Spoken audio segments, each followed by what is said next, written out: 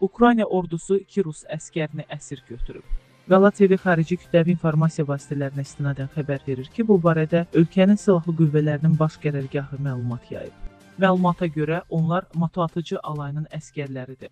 Rusiya ordusunun keçirdiyi hərbi əməliyyatlardan sonra Ukrayna paytaxtı Kiyevə giriş qadağan edilib.